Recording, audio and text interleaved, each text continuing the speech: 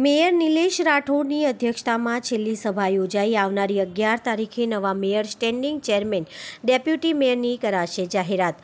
પાલિકાની મળેલી સામાન્ય સભા મેયર નિલેશ રાઠોડ, સ્થાયી સમિતિના chairman Hitendrabhai Patel, deputy mayor Nandaben Joshi સહિતના હોદ્દેદારોની આ છેલ્લી સભા મળી હતી, જેની શરૂઆત ચંદ્રયાન ત્રણની સફળતાના પ્રસ્તાવથી શરૂ કરવામાં આવી હતી, જેમાં ઐતિહાસિક ગૌરવ મુદ્દે શુભેચ્છા આપવામાં આવી હતી.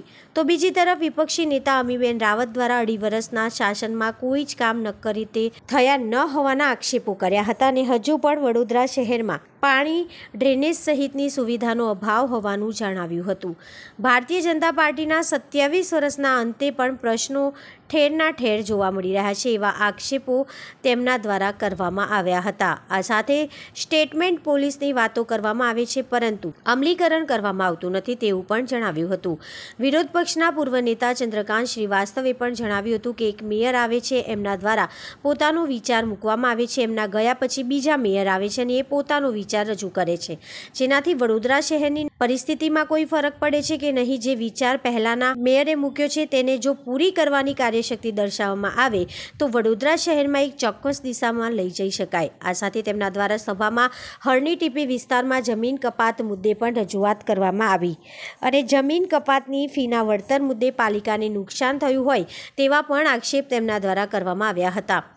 તો બીજી તરફ મેયર નિલેશ રાઠોડે તમામ આક્ષેપ ફગાવતા જણાવ્યું હતું કે વડોદરા શહેરમાં મારા કાર્યકાળ દરમિયાન કરોડો રૂપિયાના વિકાસલક્ષી કામોના ખાતમુહૂર્ત કરવામાં આવ્યા છે. સાથે પ્રાથમિક સુવિધાઓની વાત કરીએ તો પાણી અને ડ્રેનેજના કામોને પ્રાથમિકતા આપી પૂરા કામ કરવામાં આવ્યા અને કેટલાક કામ હજુ પણ પ્રગતિ હેઠળ છે. આગળના મેયરે મૂકેલા કામોને પણ ચોક્કસ નીતિ પ્રમાણે પૂરા કરવામાં આવ્યા છે અને વડોદરા શહેરના નાગરિકોને યોગ્ય સુવિધા મળે તેનું ધ્યાન રાખવામાં આવ્યું છે. જે અમારા છ મહિનાનો ટાઈમ હતો એની અંદર, જે કંઈ બી પાછળના મેયરો, મેયર અમારા જે કામ મૂકીને ગયા હતા એને આગળ વધાર્યું છે.